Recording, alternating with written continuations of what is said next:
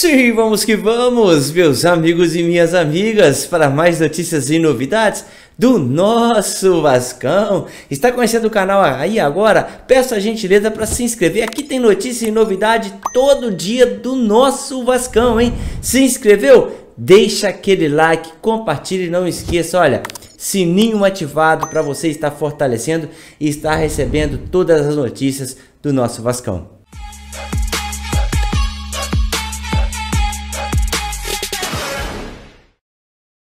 Sim, meus amigos, após um empate com gosto de derrota, eu falo para vocês que, a meu ver, o melhor de tudo é acontecer no Campeonato Carioca. Esse Campeonato Carioca que está servindo de laboratório, até que enfim conseguimos um, um Campeonato Carioca para fazer isso. Marcelo Cabo vem fazendo todos os testes possíveis e nós vimos que as bolas alçadas à área é um Deus nos acuda contra o Fluminense e preparar e ver esse problema que o Vasco já sente há muito tempo. É goleiro que não sabe sair do gol, é bola alçada à área que é um Deus nos acuda, a gente sabe como funciona. E o zagueiro Miranda, meus amigos, sentiu um incômodo no músculo posterior da coxa direita e pediu para sair após a parada técnica do segundo tempo. Vale destacar, queridos, que segundo ele, ele sentiu isso bem antes. E para não gravar, é, essas dores, ele foi saiu da, da equipe e entrou o Ulisses, onde nós sofremos até um gol de, por cima do Ulisses. E vai ser reavaliado, nós saberemos o que vai acontecer, como será a recuperação do zagueiro Miranda. E o Hernando inicia a transição e que possa ser essa transição bem feita, porque nós precisamos do zagueiro Hernando que ele volte jogando muita bola. Ontem, o Vasco, mais uma vez, Marquinhos Gabriel bem, nós tivemos o Zeca apresentando um bom futebol também, mas infelizmente foi manchado pelas falhas. E essas falhas, queridos, eu prefiro muito que aconteça no Campeonato Carioca para a gente não empolgar e abrir o olho e saber. Precisamos reforçar nessa questão que Olha, bolas na área, cabo, é esse Deus nos acuda. E tem muitos anos que nós vemos sofrendo com essas bolas nas áreas. E eu espero que isso possa mudar e que essa semana possa ser de muito trabalho em nosso Vascão. Meus amigos, e o Vasco hein, reduziu sua folha salarial em 11,11% ,11 entre as temporadas 2020 e 2021 na quesito jogadores. Vale destacar que essa folha salarial ela poderia ser muito mais baixa, mas infelizmente a diretoria que deixou o clube superfaturou contratos, salários altíssimos, jogadores que não jogam bola nenhuma, com salário nas alturas e nos fizeram só aumentar a dívida do Vasco da Gama. Sim, meus amigos, de acordo com o nosso amigo Portuga Vascaíno, Morato já efetuou os exames médicos, foi aprovado e só falta agora, meus amigos, o anúncio é, jogará, jogador já vai ficar até no banco na partida contra o Fluminense. Vale destacar, o Hernando não deve voltar e o Léo Jabá, queridos, Léo Jabá precisa de 20 dias para recondicionamento físico. É trabalhar muito bem, uma vez que Léo Jabá passou por ano recuperando por problemas, questões de, de cirurgia, nós sabemos disso já.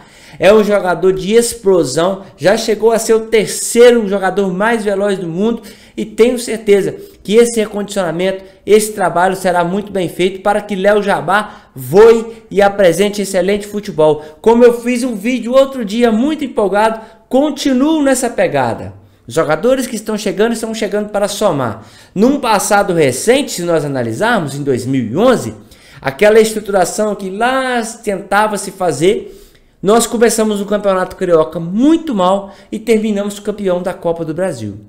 Vale destacar que chegaram vários jogadores do Vasco desacreditados.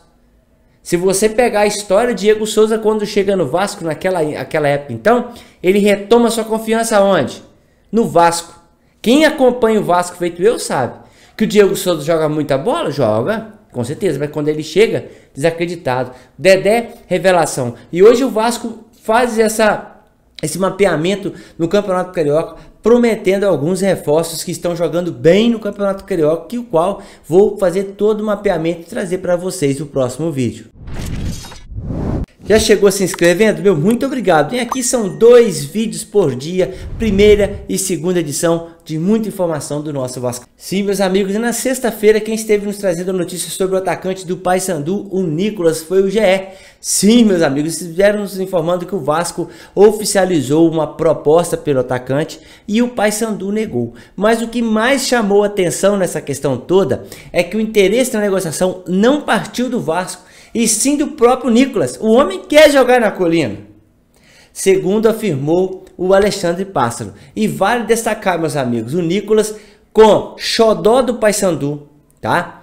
Um potencial para se tornar ídolo. E aí ele ficou em silêncio durante dessas últimas notícias. E olha, não agradou nada a torcida ali do Paysandu, que foi lá para a rede social e chutou o pau da barraca, hostilizou o atacante mesmo, chamando ele de várias coisas, vários, é, vários xingamentos, digamos assim, e, e a gente está antenado nisso. Nicolas que já são que já fez 34 gols em 86 partidas pelo Papão e pode estar pintando na colina Nicolas. O Nicolas que mostrou esse interesse em jogar no Vasco. Só isso, com o meu humilde pensamento, já sai na frente. Um jogador que quer vir jogar é ótimo. É muito melhor do que jogadores que estão no Vasco ou estavam e não querem ficar no Vasco. A realidade é essa. Então, mais um aí que pode estar reforçando o gigante da colina durante a semana. Essa semana promete, hein, querido? Sabemos que reforços vão chegar e que possam somar ainda mais nessa equipe que precisa se reforçar. Isso é fato.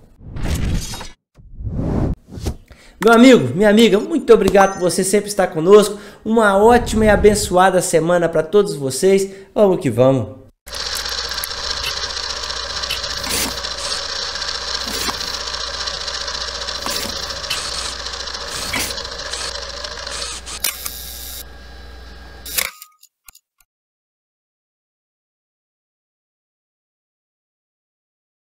Yeah.